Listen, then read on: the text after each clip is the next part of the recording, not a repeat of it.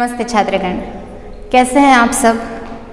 हमने कक्षा छः, विषय हिंदी में इकाई पाँच कर ली, जिसका नाम था जय विज्ञान की।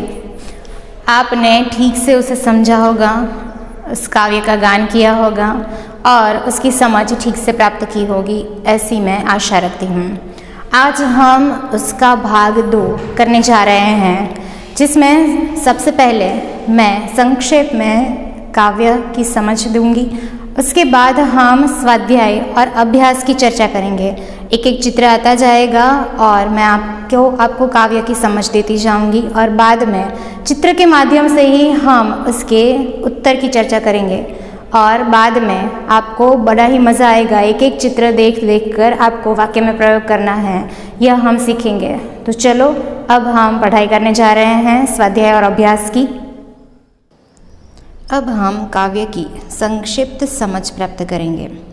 यहाँ पे कवि ने विज्ञान की जय कही है। वैज्ञानिक आविष्कारों की से सुविधाओं का क्रम शुरू हो गया है।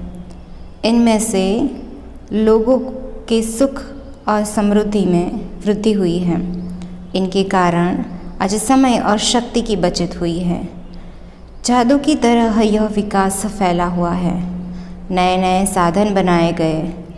और आज इन अनुसंधानों का जय जयकार हो ऐसा कहा गया है। मोबाइल पर बातें कीजिए, पेजर और फैक्स का उपयोग कीजिए। आज लोग पल भर में मथुरा और जयपुर पहुँच सकते हैं। जिस पथ पर चलने से हम जल्दी पहुँच सकते हैं और उसका आनंद ले सकते हैं। और विज्ञान ने यह रास्ता हमारे लिए आसान कर दिया है। कंप्यूटर के कारण जीवन में बदलाव आ गया है। इंटरनेट सबको सुख दे रहा है। इसका उपयोग करने से आज होठों पर मुस्कान है और खुशियाँ छाई हुई है। बच्चे नई सदी के इसकी दुनी गौरव से गाते हैं। हम यदि समय के साथ चलेंगे तो हम दुनिया में यश पाएँगे और मानवता के गीत की हमें फिर से शुरुआत करनी है। यह हमें इस काव्य में बताया गया अब हम इस काव्य का अभ्यास और स्वाध्याय करने जा रहे हैं। तो चलो, सबसे पहले हम करते हैं इस काव्य का अभ्यास, जिसमें प्रश्न नंबर एक तो आपको काव्य का भावार्थ लिखना है। प्रश्न नंबर दो है कि क्या होता, बताइए। यदि मोबाइल की खोज होती नहीं होती तो क्या होता?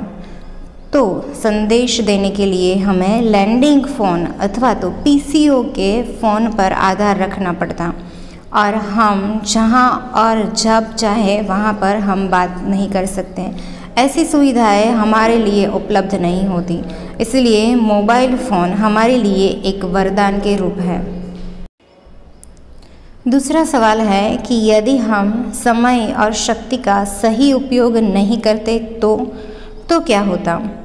जिसका उत्तर है कि यदि हम समय और शक्ति का सही उपयोग नहीं करते तो देश ने जो प्रगति आज की है, वह शायद नहीं हो सकती। तीसरा उत्तर, तीसरा सवाल, वह है कि यदि कंप्यूटर, फैक्स और इंटरनेट आदि का आविष्कार नहीं हुआ होता तो? तो क्या होता? तो उत्तर आएगा कि हम जितनी तेज़ और सहज ढंग से हमने जो प्रगति की है, वह शायद संभव ना हो पाती। अब हम प्रश्न नंबर तीन की ओर आगे बढ़ रहे हैं कि समान प्रास वाले शब्दों की रचना कीजिए। पहला शब्द दिया गया है, वह है नौकरानी। तो आएगा देवरानी, शेठानी, जेठानी। आर्थिक तो धार्मिक, सामाजिक और तार्किक, उसी प्रकार नायिका तो गायिका, सेविका और लेखिका, और चुनाव तो बढ़ाव, पड़ाव और तनाव। ऐसे ही आप कोई भी शब्द लिख सकते हैं। अब है स्वाध्याय। स्वाध्याय में प्रश्न नंबर एक है, जो है, प्रश्नों के उत्तर दीजिए। जिसमें पहला सवाल है, वह है, कंप्यूटर और इंटरनेट से हमें क्या लाभ हुआ है? तो सबसे पहले हम कंप्यूटर की जानकारी लेंगे और उसके बाद इंटरनेट की। कंप्यूटर। कंप्यूटर से बड़ी से बड़ी गणना गणना भी पलक झपकते ही हो जाती है। बटन दबाते ही बैंक में आपका पूरा खाता सामने आ जाता है। घर बैठे आप रेलवे और हवाई जहाज़ के टिकट बुक करा सकते हैं और सेना, शिक्षा आदि क्षेत्रों में कंप्यूटर तो एक वरदान के समान है। अब आता है इंटरनेट इंटरनेट से क्या होगा? इंटरनेट वह जानकारी का भंडार है। इसके किसी भी क्षेत्र में संबंधित पूरी और प्रामाणिक जो जानकारी चाहिए तो वह हमें इंटरनेट के माध्यम से मिल सकती है। यह आपको उत्तर ठीक से सुनना है। दूसरा है, वह है कि समय और शक्ति की बचत कैसे होती है? कंप्यूटर जैसे वैज्ञानिक उपकरणों के प्रयोग से हम क्या कर सकते हैं? समय और शक्ति की बचत कर सकते हैं। इसलिए कंप्यूटर के माध्यम से समय और शक्ति की बचत हो सकती है। उसी प्रकार तीसरा वह है कि किन उपकरणों के माध्यम से संदेशा व्यवहार हो सकता है? तो किन किन उपकरणों के माध्यम से?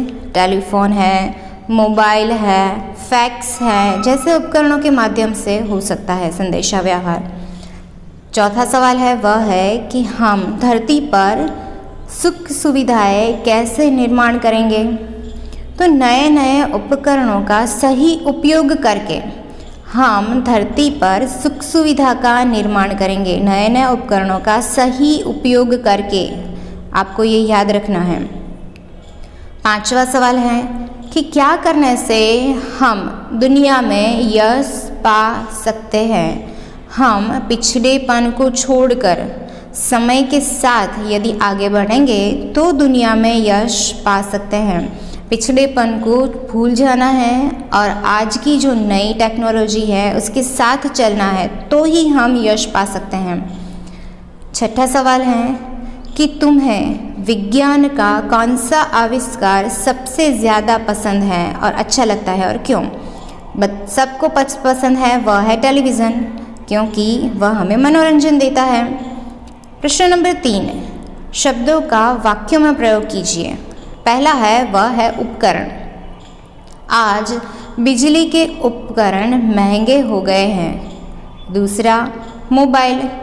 मेरी दादी ने नया मोबाइल खरीदा है। तीसरा, कंप्यूटर।